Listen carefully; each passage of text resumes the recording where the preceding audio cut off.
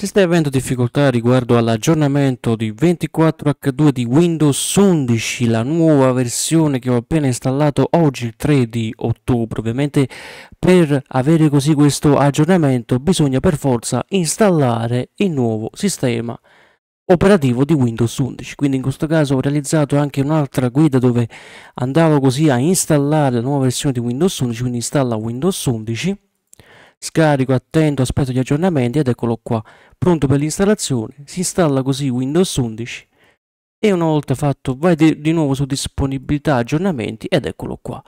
Aggiornamento cumulativo per Windows 11 versione 24H2. Quindi dopo che ho scaricato Windows 11, crea il supporto di installazione per Windows 11, finalmente mi è uscito l'aggiornamento da fare sulla versione 24H2.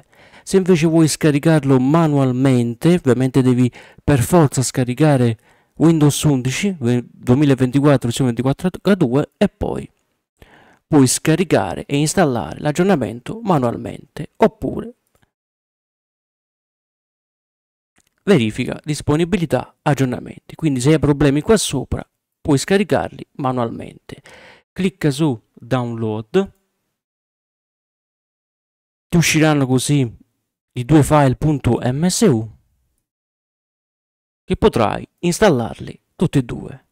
Ma il mio, il mio, consiglio che vi posso dare è quello di scaricare Windows 11, aspettare qualche oretta, un'oretta o due, ti installi la nuova versione e poi fai la verifica degli aggiornamenti.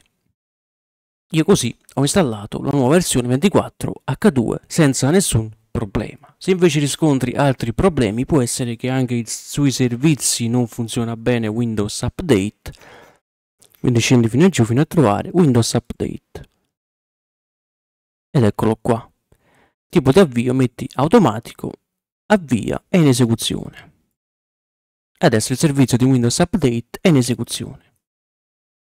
Quindi ti consiglio anche di guardare questa guida che ho fatto su come installare completamente la versione 24H2 al 100% senza nessun problema. Quindi grazie a tutti per questa visione e noi ragazzi ci vediamo ad un prossimo tutorial. Ciao!